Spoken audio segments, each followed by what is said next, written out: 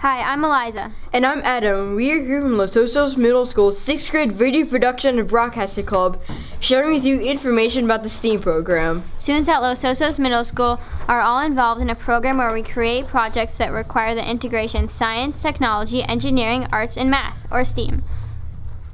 At the beginning of the year, the 6th grade students created board games based on science and social studies programs. We worked together to make prototypes and all helped create our final product, a really cool board game made out of wood. In the next unit, we created an advertising campaign for our games. We did this using four different types of media TV ads, radio ads, web ads, and print ads. With each advertising method, we learned new technology skills, including Audacity, Scratch, Microsoft Publisher, and Windows Movie Maker. Our next STEAM unit will all be based on ancient Egypt. We will make website. We will make a website and an educational computer game. And we will make our own Senet game out of wood in the makerspace.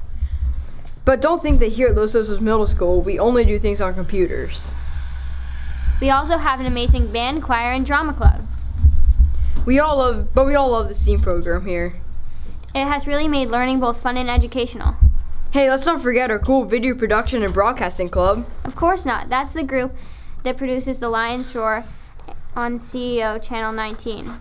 It's a great show if I can't say so myself. You can say so for me too. Thanks for listening to us. That's all from, the Lion's Roar.